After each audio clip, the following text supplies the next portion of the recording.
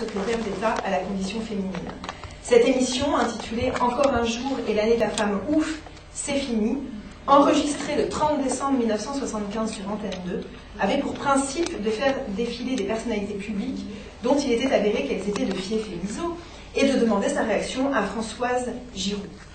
Les réactions de Françoise Giroud ne satisfont pas les insoumises qui décident de répondre, et les quatre féministes radicales euh, entreprennent, ne voulant plus rester passives devant la télévision, elles entreprennent donc d'exposer les mensonges, le sexisme et le manque de rigueur de ceux et celles qui prétendent parler à leur place.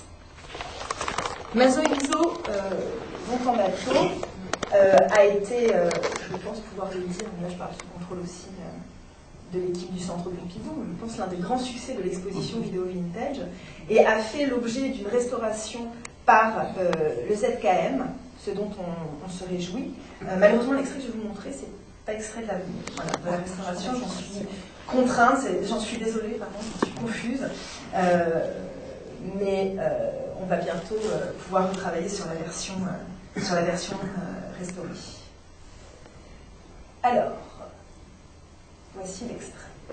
C'est un extrait un, petit peu long, mais je pense que si on ne le voit pas dans la longueur, si on ne voit pas un extrait un peu long de Mazomiso bateau, on ne comprend pas le principe extrêmement fin de désarticulation auquel euh, les réalisatrices procèdent.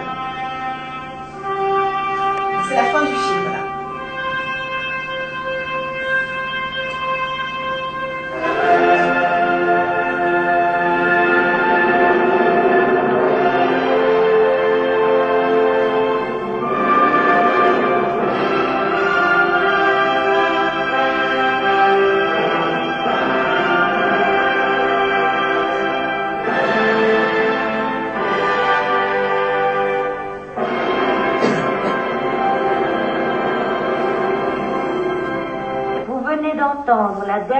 Énormité prononcée par Françoise Giroud au cours de cette émission.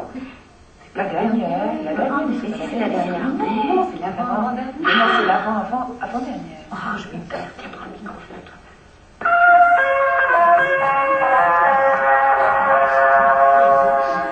Vous venez d'entendre l'avant, avant, avant-dernière énormité prononcée par Françoise Giroud au cours de cette soirée. Et maintenant, la suite de l'émission. C'est un extrait de L'homme tranquille de John Ford avec John Wayne et Maureen O'Hara. Et ça va vous paraître encore beaucoup plus drôle si, à la place de John Wayne, vous imaginez Alexandre Sanguinetti. Je s'y attendait pas.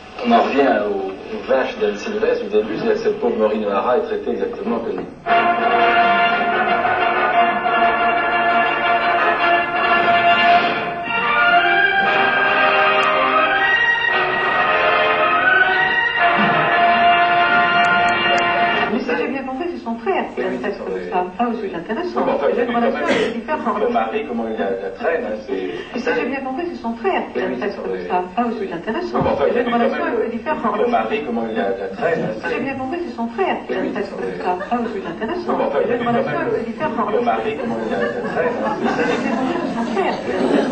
Ah oui, c'est intéressant. Une relation avec. Son mari, comment traîne, hein, c'est... J'ai bien compris, c'est son frère qui a. Ah oui, c'est intéressant. Une relation avec mari, comment la traîne Ça se passe en Irlande. Ah bon, c'est les sauvages, les Irlandais Non, mais ils sont peu violents. Ça se passe en Irlande. Pas la Lorraine, et malgré tout, nous resterons français. Ça se passe en Irlande. Euh, Ah bon, c'est les sauvages, les Irlandais? Non, mais ils sont un peu violents. C'est notre cœur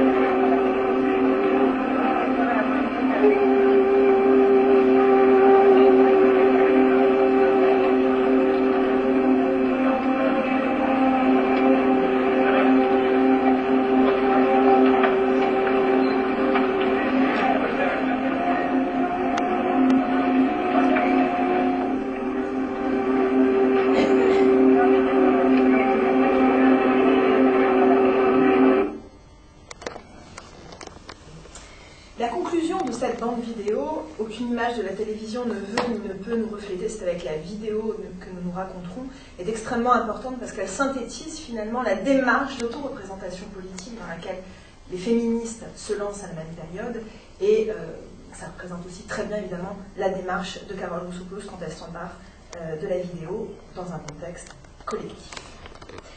Mazoé Miso, Mon bateau, euh, va être, c'est très exceptionnel, projeté en salle au sein de l'entrepôt. Euh, il va rester euh, trois semaines à l'affiche avec un dispositif très particulier puisque c'est des moniteurs qui sont placés au dos euh, de, des sièges. Et il faut savoir que c'est la bande vidéo la plus demandée incontestablement dans les années 70, dans les milieux militants en tout cas. On estime à environ 300 000 spectateurs et spectatrices à la fin de l'année 1980, ce qui est absolument gigantesque. Ce chiffre n'est évidemment atteint par aucune autre euh, bande vidéo, euh, en particulier militante. Mais pendant cette décennie, et ça je vais ouvrir un, volet un peu moins connu euh, du travail de Carole Rousseau-Poulos, pendant cette, cette décennie, Carole Rousseau-Poulos va en fait tourner en vidéo aussi pour des artistes, et en particulier pour des femmes. C'est une dimension extrêmement méconnue de son travail. Elle tourne ainsi pour Gina Pan, pour Orlan, pour Michel Journiac. Euh, elle considère, quand elle travaille pour elle et lui, qu'il s'agit euh, d'un travail de commande, c'est-à-dire qu'elle fait l'image, mais ce n'est pas elle à proprement parler qui assure euh, la réalisation. Et quand elle en parle, quand elle en parlait, elle évoquait en fait un, travail avant tout alimentaire. Je citerai Carole Rousseau dans un entretien que je vous, qui doit être en ligne encore, je pense, que je vous invite à lire avec Julia Moutou. Euh, Carole Rousseau-Poulos donc explique que euh, sa collaboration avec Gina Pan ne s'inscrit pas vraiment dans le domaine qui lui est propre. Elle a effectivement travaillé pour elle pendant 2-3 ans. Elle cite les années 73-74. En fait, elle fait aussi euh, un certain nombre de tournages en 75, donc c'est plutôt 3, 3 ans. Pendant le laps de temps où j'ai travaillé avec elle, j'ai filmé donc la plupart de ses actions à Paris, mais aussi à Naples. Je trouvais le travail de Gina Pan assez dur. Lorsqu'elle se mettait sur le visage des asticots ou se coupait l'oreille, je trouvais cela violent. J'avais toujours peur qu'il y ait des complications. Je pensais qu'elle se mettait vraiment en danger. Les asticots posés sur sa figure étaient susceptibles par exemple de rentrer dans son nez, ses oreilles, ses yeux, c'était assez impressionnant. Ces bandes euh, vidéo, notamment autoportrait, action psyché, death control, sont justement conservées dans les collections du centre Pompidou, donc je peux, j'ai la chance de pouvoir, on a la chance de pouvoir voir des extraits ensemble, sinon elles sont très difficiles d'accès. Donc je vous montre un premier extrait d'action mélancolique 2 x 2 x 2. C'est une euh, vidéo, c'est une performance dont vous allez voir le constat, un extrait du constat vidéo euh, qui a été réalisé par Gina Panet en octobre 1974 à Naples. À la fin de l'action, dos au public, la plasticienne prend une lame de rasoir et coupe le bord de son oreille droite en hommage à Van Gogh.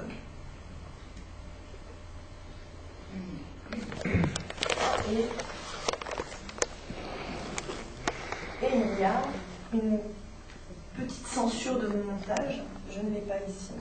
Donc je vais vous montrer les asticots de l'action d'Asmodro. Je vous prie de m'excuser, je vous montre cette action. Effectivement très très impressionnante.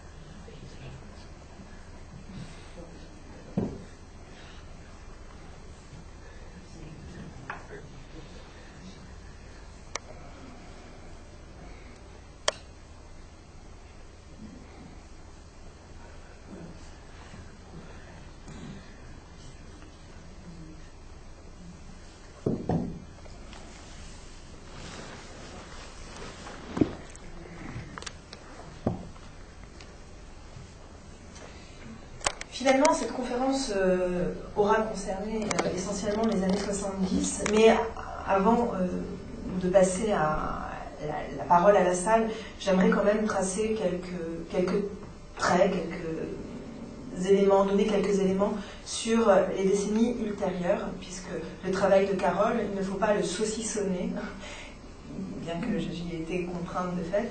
Euh, elle a évidemment continué à travailler donc euh, jusqu'à sa disparition en 2009 et euh, sa filmographie post-vidéo des premiers temps, donc post-années 70, mérite aussi d'être évoquée, travaillée, réévaluée.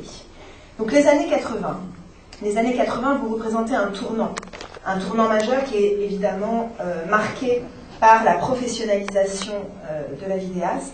Les questions financières pèse lourdement dans le contexte de la fin des années 70, début des années 80, sur les collectifs de vidéos militantes, et de plus en plus, en fait, dès 1976, et l'apparition de nouveaux matériels, beaucoup plus onéreux, notamment euh, le matériel vidéo humatique.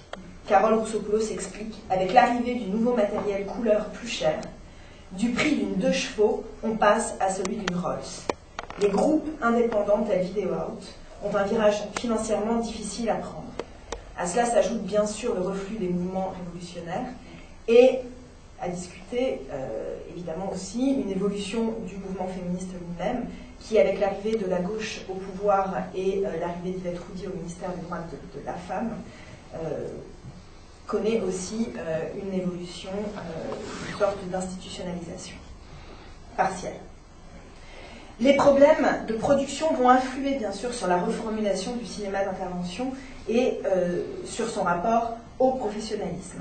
À ce moment-là, beaucoup euh, d'anciens vidéastes militants vont finalement se lancer dans des actions de lobbying en direction de la télévision pour essayer d'y rentrer. Pour ceux qui y resteront dans cette pratique finalement audiovisuelle, puisque beaucoup de collectifs vont bien entendu disparaître à ce moment-là. Carole Roussopoulos et ses compagnes du MLF continuent dans un premier temps à travailler avec leur matériel vieille génération jusqu'au début des années 80. Mais ces problèmes financiers vont devenir vraiment de plus en plus lourds et vont conduire à l'ouverture, à la fondation du Centre audiovisuel Simone de Beauvoir, qui ouvre ses portes en juin 1982 à Paris. Rue Maurice Ripoche, dans le 14e. Non, c'est euh, non, c'est la deuxième. C'est Hippolyte Non, si, c'est Maurice Ripoche, excusez-moi. C'est absolument ça. Dans le 14e, c'est une petite maison euh, que vous allez voir sur l'image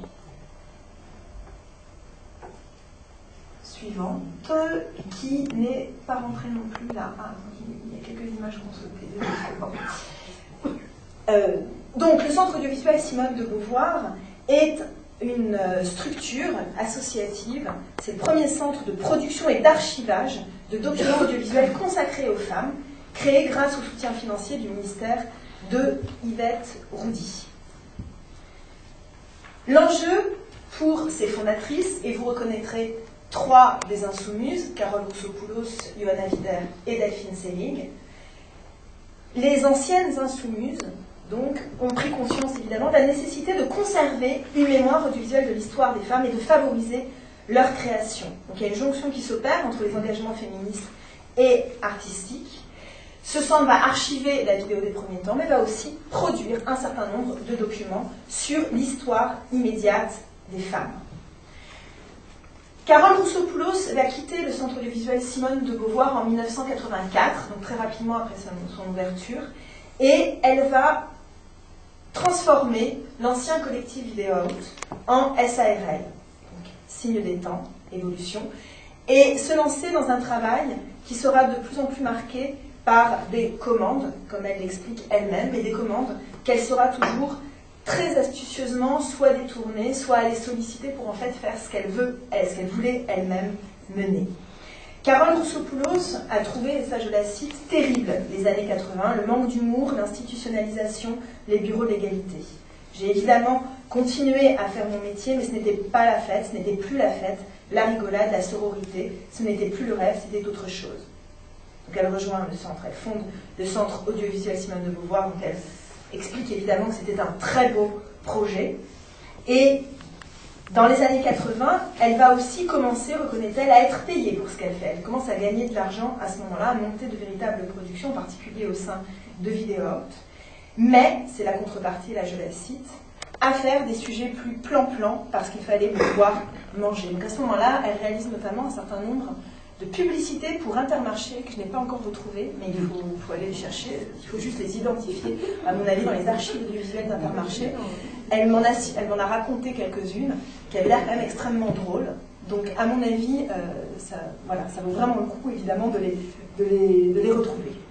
Donc, elle n'avait plus, dit-elle, les associations avec les féministes rigolotes et subversives. Elle rentre dans des sujets plus conventionnels, mais peut-être moins marrants que dans les années 70, mais extrêmement importants, et là c'est moi qui le dis. Elle tourne notamment avec Johanna Vider un portrait de Flo Kennedy. Elle tourne énormément de films sur des professions de femmes méconnues, agricultrices par exemple, conchicultrices et autres travailleuses de la mer. Et elle tourne un certain nombre euh, de films aussi, elle lance toute une série autour de l'inceste, le tabou des tabous, comme elle le disait elle-même. Et là, je vous en montre un extrait. Donc, de L'inceste, la conspiration des oreilles bouchées, qui est un film de 1988, extrêmement important, début d'une série autour de ces questions.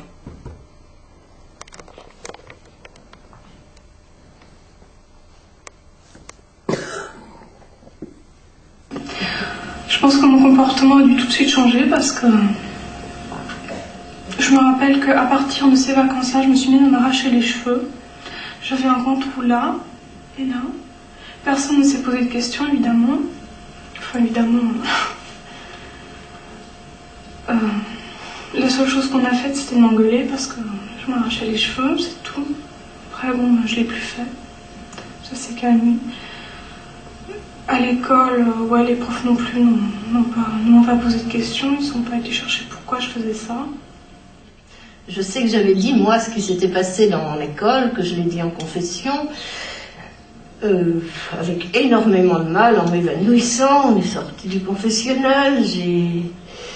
Enfin, je l'ai dit très très très difficilement et simplement avec la certitude que si je parvenais à le dire, ça cesserait. ensuite, je l'ai redit à la mère supérieure, et après, on a appelé mes parents en demandant s'ils voulaient bien venir, et je l'ai redit devant eux. J'ai même fait des dessins, trois dessins. Et je, ne crois pas qu'on ne m'ait pas cru. Ça me paraît impossible. Enfin, beaucoup de, de, petits faits ou signes l'ont montré. On n'a jamais pensé que je ne disais pas vrai. Je me suis rappelé très très longtemps absolument tout ce qu'il avait dit. Mais tout, ça a dû durer, pas, 8-9 minutes. Et j'ai très très bien vu que, comme ça retournait, enfin, c'était plus possible à. Et à la fin, la mère supérieure a dit qu'on oublierait ce que j'avais dit et qu'il fallait que je leur demande pardon. Et j'ai dit, papa, je vous demande pardon d'avoir fait ça. Et on m'a dit, mais non, mon petit, d'avoir dit ça. Et j'ai dit, je vous demande pardon d'avoir dit ça. Et je suis rentrée chez moi avec eux. Voilà. Moi je crois que bon, euh, à l'institutrice, euh, je reproche de, ne pas avoir essayé. J'aurais peut-être pas parlé tout de suite, mais je suis persuadée qu'il y avait des choses, euh, je sais pas, dans le dessin, dans, dans le comportement que j'avais, euh, au lieu de convoquer euh, trois fois mes parents. euh, moi, à cette époque-là, il n'y avait pas de psychologue scolaire et tout ça, mais je pense que c'est c'est l'enfant qu'il faut interroger. C'est enfin interroger, c'est pas interroger. C'est avec l'enfant qu'il faut discuter pour savoir ce qui se passe et je dis pas que je l'aurais, je l'aurais dit tout de suite ou que je, j'aurais peut-être pas trouvé les mots, mais enfin, je pense qu'un adulte, euh, s'il était un petit peu sensibilisé, aurait pu comprendre.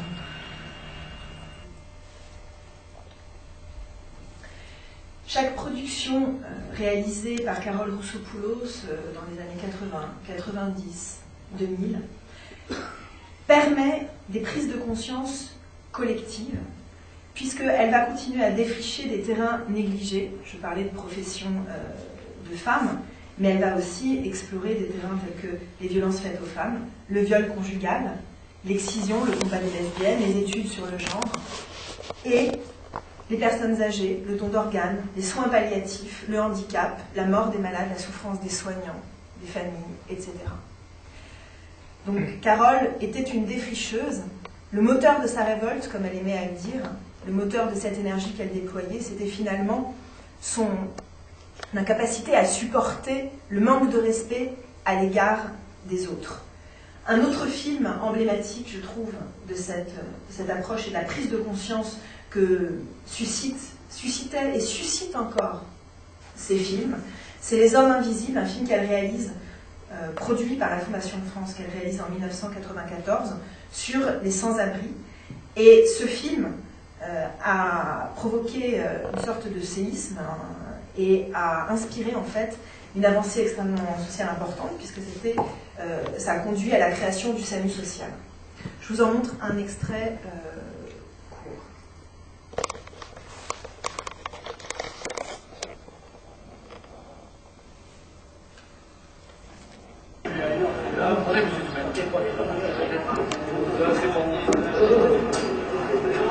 Ah bon, encore euh...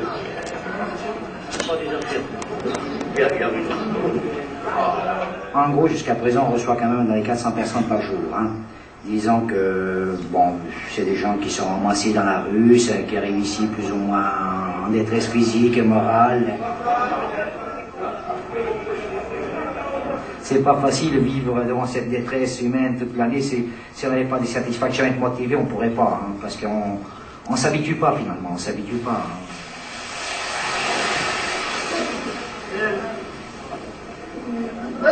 Les gens qui viennent ici ont été très souvent euh, non vus, non vus, invisibles à l'hôpital, invisibles. Quand vous voyez que vous avez des poux, il ne faut pas hésiter à venir nous voir. Qu'on vous lave et qu'on vous mette un produit. Hein Avant d'avoir des lésions comme ça. Parce que là, c'est infecté, puis ça va être beaucoup plus long à guérir. Hein Moi, je dirais que ça monte à une euh, à 10-12 ans. quoi. Il y a une culture, euh, une culture économiste, culture économiste, dans laquelle on pense euh, euh, budget global, rendement euh, et euh, investissement. Et donc, quand on a commencé à penser comme ça, on n'a plus pensé aux hommes qui, sont- qui étaient derrière. Bon, est-ce qu'il y a quelqu'un pour voir le médecin Euh, Chacun à son tour. Venez.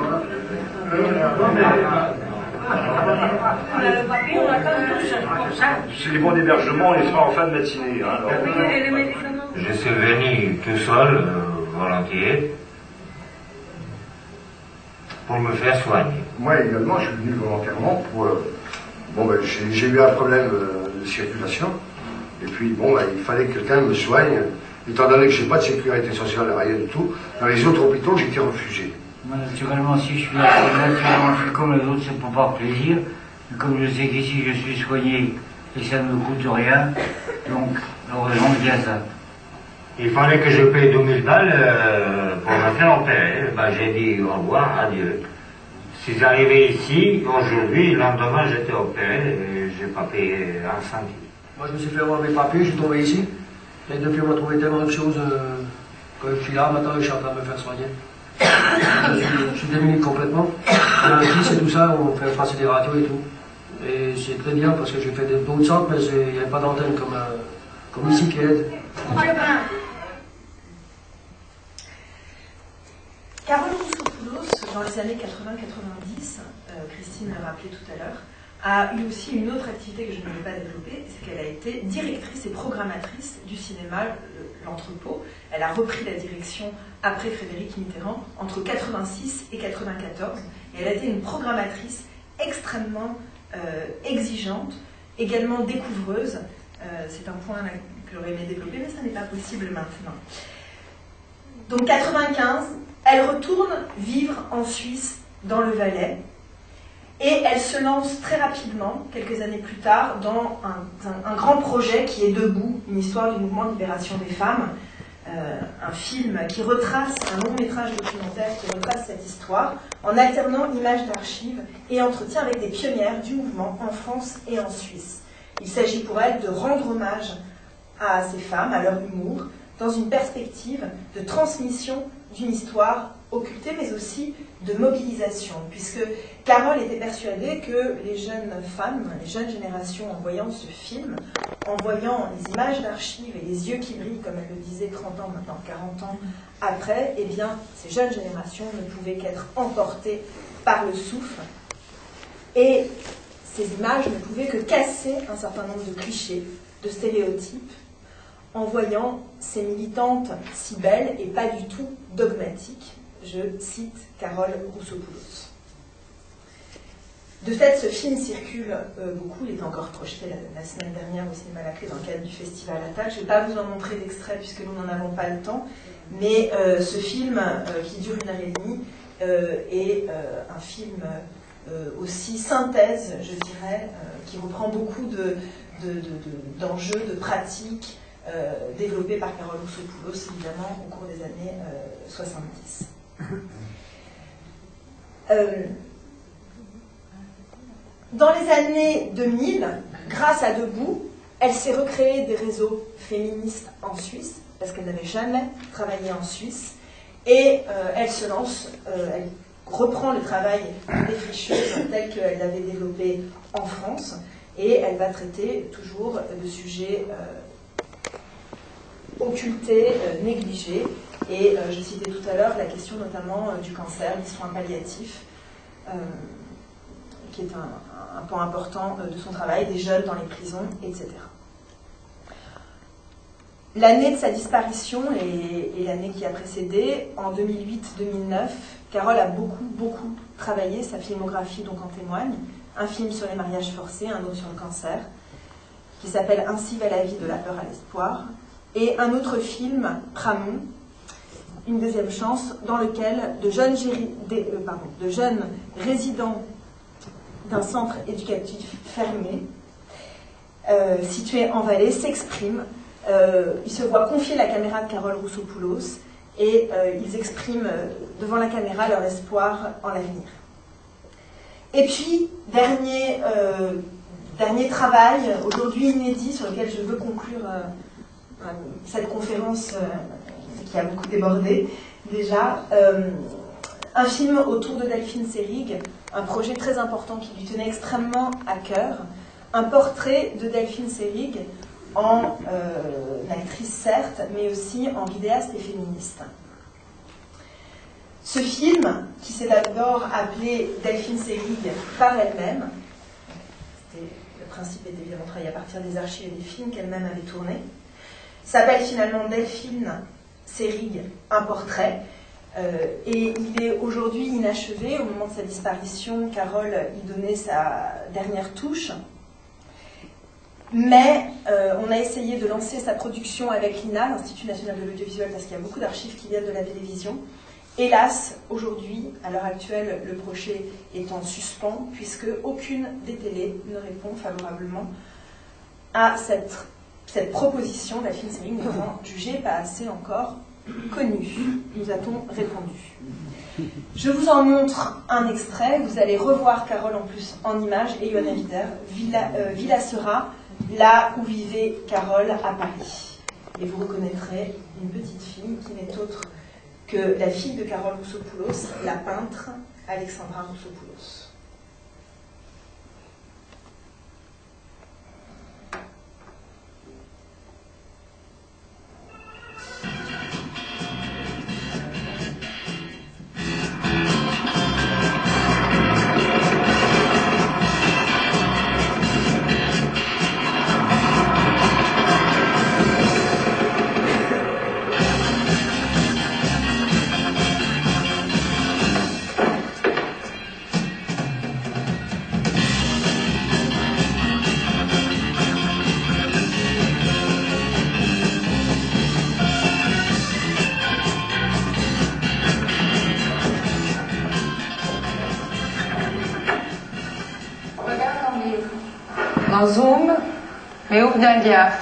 Oh ben vas-y, lis. Féminin. Féminine. Qui est propre à la femme. Cette femme si peu féminine redevient femme, comme on les aime. C'est masculin. Masculin.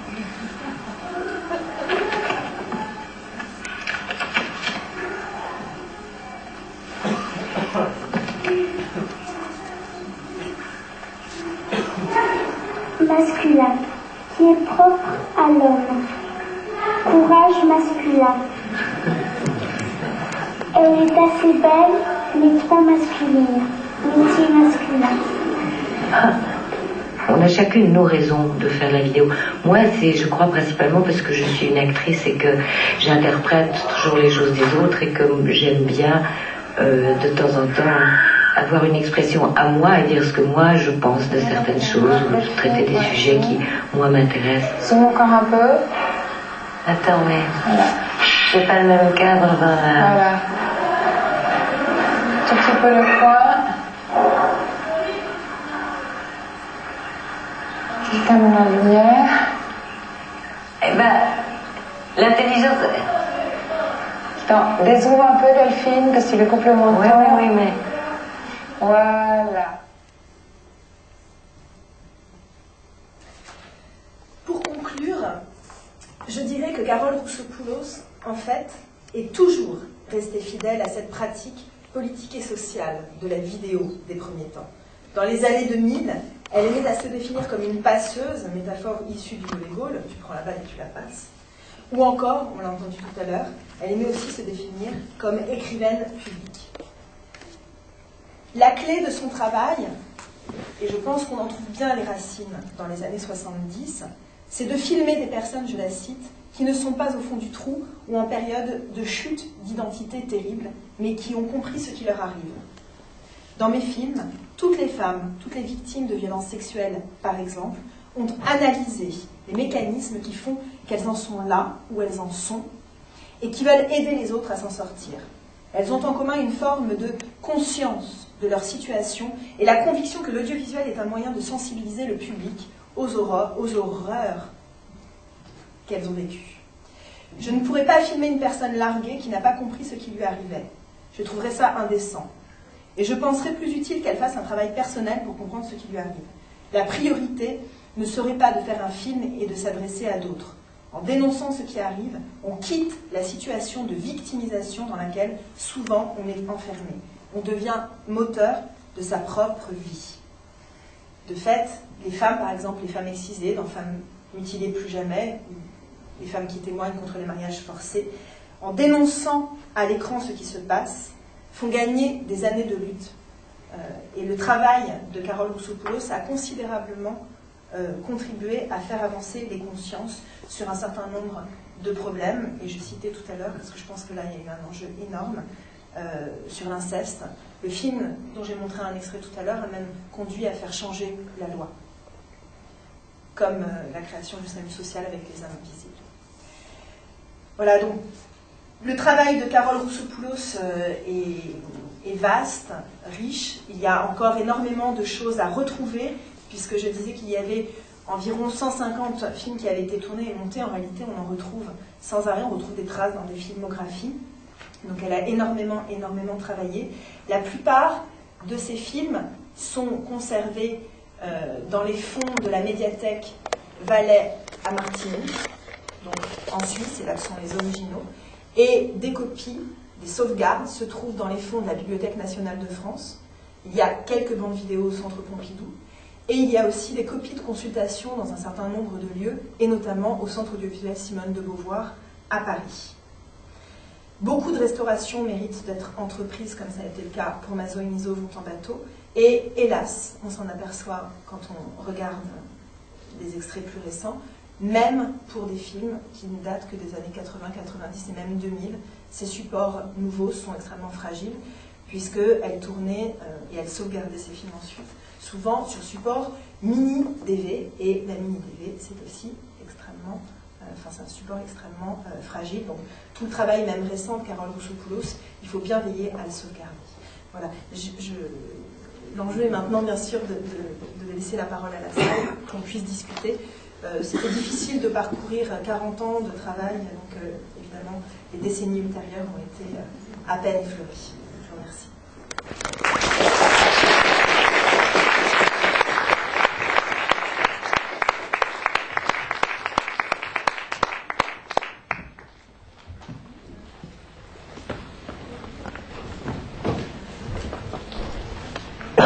C'est là s'il y a des questions.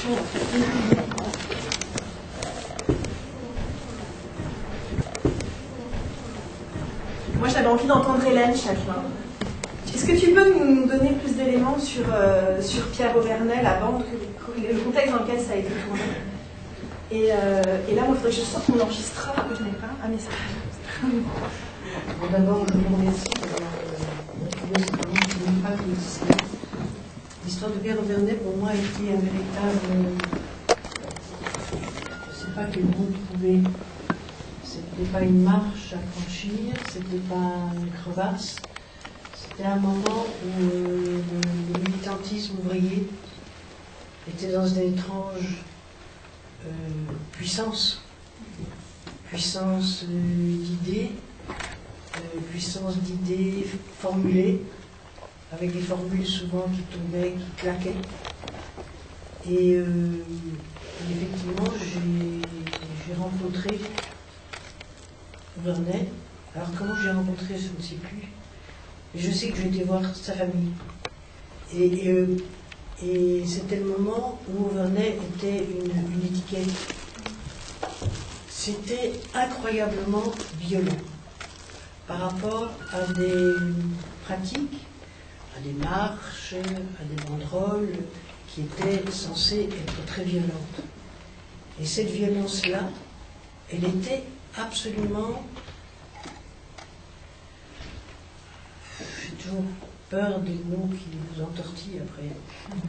qui était difficile, très difficile à, supporter. Et euh, donc, euh, est mort. Et euh, toute cette histoire, pour moi, a été vraiment une histoire de, remise en question très très profonde du travail que je faisais. Euh, je m'étais là, enfin, c'est pas du tout pour. C'est donc il y a eu une, immense marche officielle de Pierre Ses parents n'étaient pas. Ils n'avaient même pas pensé qu'il y avait des parents. Donc le fils venait de mourir. Je veux dire que c'était d'une violence euh, qui se roulait dans une bonne conscience qui était absolument indépassable. Pour moi, c'était euh, un moment très très signifiant. Euh, je ne suis pas quelqu'un qui a, qui a dire que je ne parviens pas à tourner, j'écris, quand je n'arrive pas à écrire, je fais autre chose. Euh, je suis quand même partie assez longtemps en Russie, parce que j'avais l'impression que je me noyais dans un milieu et que j'avais besoin de m'en sortir aussi. Euh, il se trouve que la Russie, c'est mon, pays, donc j'ai beaucoup tourné. Et euh, enfin, on a tourné à deux parce qu'il y avait un compagnon, enfin, Yossif Pasternak, qui n'a rien à voir, comme il dit en soupirant, que c'est pas du tout le bon Joseph et qu'il n'est pas du tout le bon Pasternak. Et donc effectivement, nous avons travaillé à deux parce que c'était des années qui étaient, c'était juste après le mur, et des années qui étaient un peu difficiles parce que je voulais, je voulais pas aller dans les grandes villes. Donc c'était euh, une grande marche. On a beaucoup marché. Et les gens que j'ai rencontrés, c'était aussi des, des marcheurs de leur, de leur vie, de leurs questions. C'est vrai que c'est très grand la donc on peut marcher longtemps, longtemps, longtemps sans, vraiment en voir le bout. Donc ça a été pour moi une, rupture importante aussi. Enfin une rupture, pas une rupture, juste un, pas de côté. Voilà. J'aime pas les ruptures. Parce qu'après, pour euh, re- recoudre, c'est compliqué. Non, il ne faut pas rompre, il faut juste faire un pas de côté, quoi. C'est plus simple. Enfin pour moi en tout cas. Voilà. Alors, euh, Auvernay, donc euh, toute l'histoire d'Auvernay pour moi a été absolument symbolique. Je l'ai vécu minute par minute. euh, euh,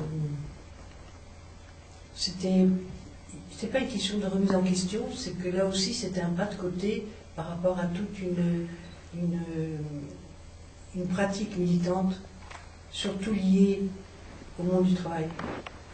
Il y avait à l'usine. Et je me souviens, c'était pas du tout pour un moment. nous- nous- enfin, c'est vrai que j'ai travaillé avec Gatti et que nous étions, nous travaillions à, euh, à l'usine. euh, ça, je me souviens plus du nom. Une grosse, grosse usine. Je vais la, la retrouver. Et il y avait euh, d'autres groupes qui travaillaient et qui donnaient les, les caméras. Vous voyez. Et euh, moi, je me trouvais devant une, population sans doute la plus riche de toutes les émigrations que j'ai vécues. C'est vrai que je suis très sensibilisée à l'immigration. Je viens des émigrés. Et euh, c'est souvent très très difficile d'arrêter le flot des paroles. Parce que venir de l'immigration, c'est un. Moi, je crois que c'est une immense richesse. Voilà, c'est pas du tout une catastrophe. Et, Et- voilà, que vous dire d'autre, euh, je ne sais pas comment ça raconter. Du coup, j'en profite pour signaler que l'une des prochaines séances de ce nouveau sous-cycle de vidéo et après lié au programme du LABEX portera sur le lion saccage et ses ailes. Donc tu reviendras en tant que, que réalisatrice. Et euh, de mémoire, et là je parle sous contrôle d'Étienne et de Christine, je crois que c'est- ce sera le 20 février. c'est formidable. C'est ça, hein, c'est le 20 février, je ne me trompe pas. Oui, c'est formidable. Tu, tu- tu reviendras avec euh, Stéphane Gatti, avec Jean-Jacques Ocard, euh, euh, j'ai- Armand Gatti, mais ah bah, on n'est pas sûr qu'il puisse venir, je crois. Mais, euh, voilà. Non, non, il viendra. hein. Il viendra, je crois qu'il- j'espère qu'il sera à Paris euh, voilà, le 20, le 20 février, c'était le petit doute qu'on avait. Ça, c'est les coulisses, normalement, il sera là aussi, bien sûr. Merci Hélène. Et on te prépare une copie pour que tu revoies l'intégralité de, Oui, non, non, c'est. ton film. Je, je savais, enfin, j'avais même pas pensé qu'il avoir. Qui c'est qui l'a tourné? C'est pas moi qui l'ai tourné. Mais écoute, j'entends ta, alors, j'entends ta voix, euh, on entend ta voix dans, Non, mais c'est dans possible un certain nombre de séquences. de tourner parce qu'il fallait Et, et on voit euh, Paul l'ai à l'image. Oui. Et je pense, en fait, je pense que vous l'avez tourné, Carole et toi. Oui. Et avec Paul à certains moments présents, puisqu'on le voit à l'image. Euh, mais Carole m'en avait parlé et euh, elle m'avait parlé de coulisses, euh, euh, voilà, où en gros, elle, euh, vous, enfin, vous, vous étiez quand même très, très, vous étiez proche donc de, de sa, très, sa- on était très proches et lointaines. Non, mais de sa compagne- de sa compagne. Qui rend les, les, les liens très forts. Non, je pensais, ouais, entre vous, mais je pensais à la, à la compagne de, de, Pierre Auvernay, que vous aviez rencontré, c'était par son biais en fait aussi. Oui, mais c'est toute l'histoire, toute l'histoire d'Auvernay était tellement emblématique à travers sa mort, à travers euh, le travail qu'il faisait à l'usine, t- comment après ça a été récupéré. Moi, je n'ai pas le mot récupéré, disons, ça a été dit autrement. Voilà. Ça a été dédit. plutôt. Enfin, le, le film est absolument incroyable. C'est un, un portrait, euh, en plus au, au moment même, euh, même de sa disparition, quelque chose d'extrêmement troublant, par des personnes qui, qui en parlent d'une manière qui est tellement loin, effectivement, de, de, de l'étiquette ou de, des images qui sont placardées à la même époque dans, dans Paris. Non, non, été. Enfin, c'est très très impressionnant. Donc euh, voilà, le film mérite d'être bien interprété. Il se trouve, pour les personnes que cela intéresse, dans les fonds euh, de la Bibliothèque nationale de France. hein, c'est- la BNF, euh, espace cherche, côté chercheur, qui euh, a sauvegardé cette bande. C'est formidable. Je ne savais pas. En tout cas, merci. C'est un vrai cadeau. フフフフ。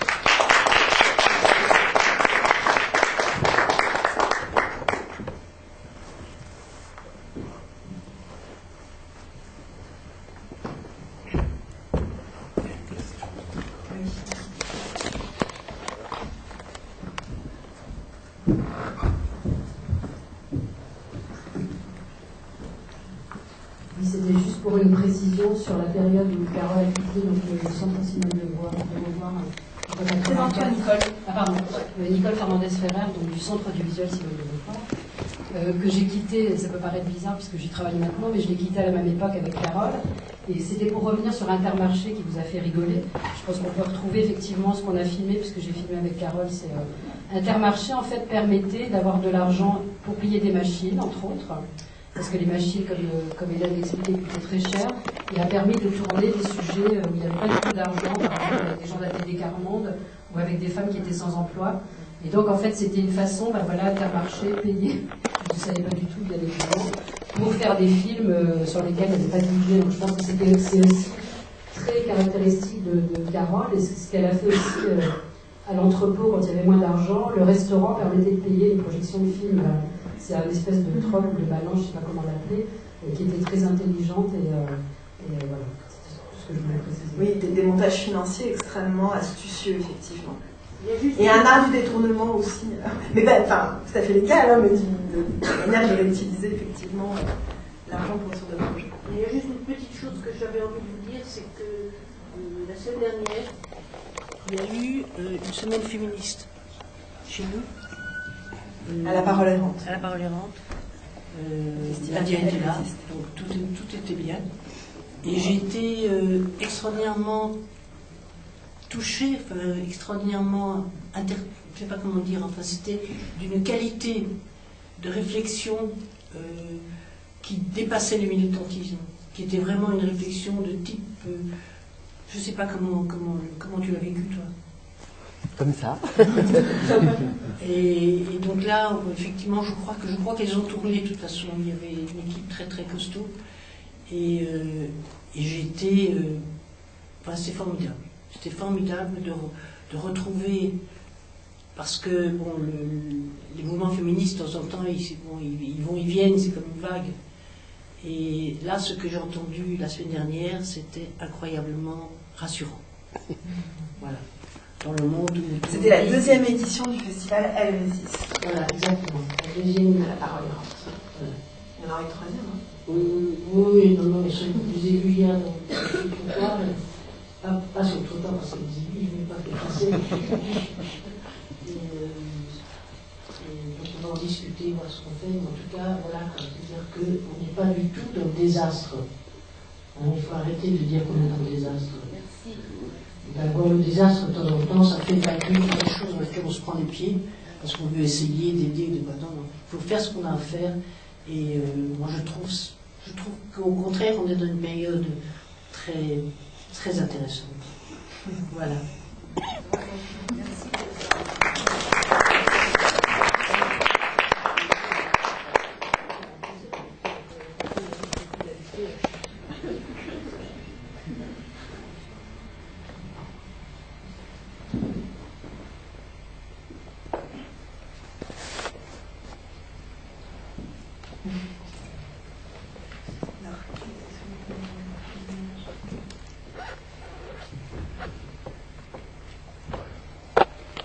Delphine Seyrig, euh, parce que bon, ça rejoint une discussion qu'on a eue euh, récemment avec Nadia Ringard, qui est aussi dans la salle.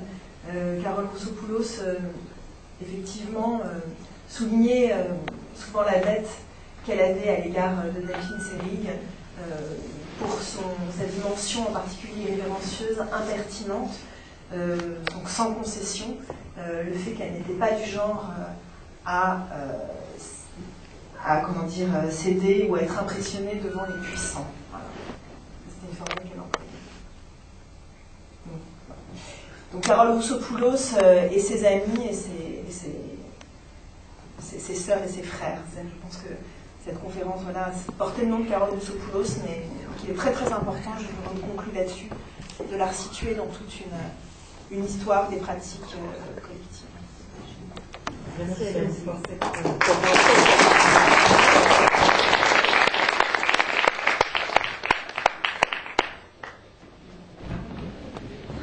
家里辛苦。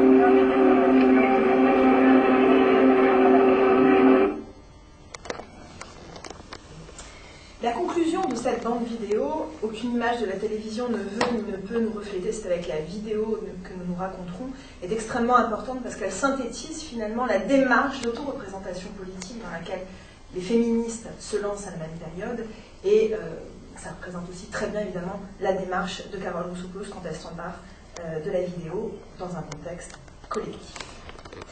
Mazo et Miso, Mon bateau, euh, va être, c'est très exceptionnel, projeté en salle au sein de l'entrepôt. Il va rester trois semaines à l'affiche avec un dispositif très particulier puisque c'est des moniteurs qui sont placés au dos euh, de, euh, des sièges. Euh, et il faut savoir que c'est la bande vidéo la secrétaire d'État à la condition féminine. Cette émission, intitulée Encore un jour et l'année de la femme ouf, c'est fini, enregistrée le 30 décembre 1975 sur Antenne 2, avait pour principe de faire défiler des personnalités publiques dont il était avéré qu'elles étaient de fief et miso, et de demander sa réaction à Françoise Giroud réactions de Françoise Giroud ne satisfont pas les insoumises qui décident de répondre et les quatre féministes radicales euh, entreprennent, ne voulant plus rester passives devant la télévision, elles entreprennent donc d'exposer les mensonges, le sexisme et le manque de rigueur de ceux et celles qui prétendent parler à leur place.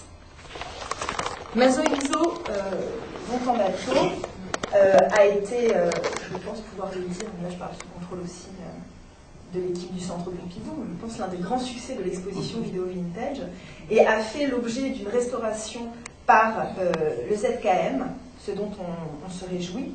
Euh, malheureusement, l'extrait que je vais vous montrer, c'est pas extrait de la, la restauration, j'en suis contrainte, j'en suis désolée, pardon, j'en suis confuse, euh, mais on va bientôt pouvoir retravailler sur la version, sur la version Alors, Voici l'extrait. C'est un extrait un, petit peu long, mais je pense que si on ne le voit pas dans la longueur, si on ne voit pas un extrait un peu long de Mazomiso bateau, on ne comprend pas le principe extrêmement fin de désarticulation auquel euh, les réalisatrices procèdent. C'est la fin du film.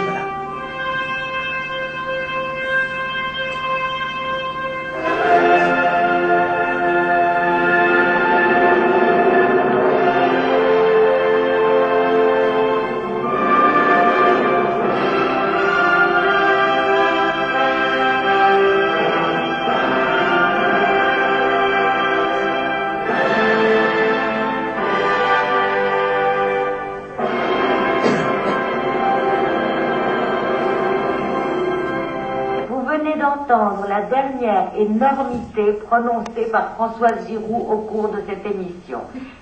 La dernière, la dernière, c'est la dernière. Non, c'est l'avant. Non, c'est l'avant, avant, avant dernière. Ah, je vais me perdre.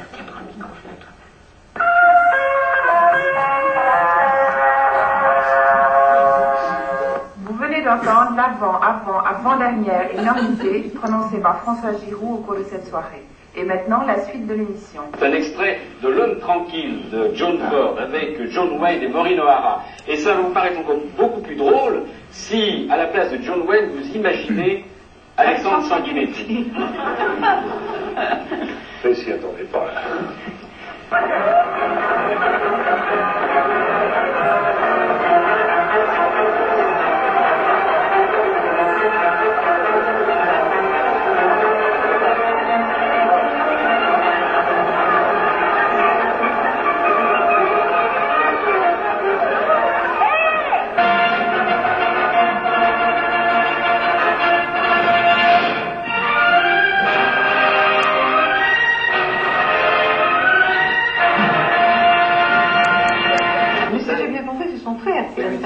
ça. Ah oui, c'est intéressant. Bon, enfin, une relation différente. Le mari, comment il la, la traîne, hein, c'est... Si j'ai bien compris, c'est son frère qui a fait comme ça. Ah oui, c'est intéressant. Bon, enfin, une relation différente. Le mari, comment il la, la traîne, j'ai bien compris, c'est son frère qui a fait comme ça. Ah oui, c'est intéressant. Enfin, une relation différente. Le mari, comment il la, la traîne, j'ai bien compris, c'est son frère qui comme ça. Ah oui, intéressant. Une relation peu différente. Le mari, comment il la, la traîne, j'ai bien compris, son frère qui a fait comme ça. Ah oui, c'est intéressant. Bon, enfin, Il a une relation un même, peu différente. Le mari, comment il la, la traîne Ça se passe en Irlande.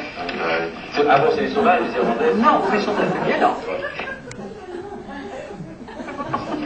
Ça se passe en Irlande. Vous n'aurez pas la la Lorraine, si malgré vous, nous resterons français. Ça se passe en Irlande. Ah bon, c'est les sauvages, les Irlandais Non, mais sont un peu violents. C'est notre cœur,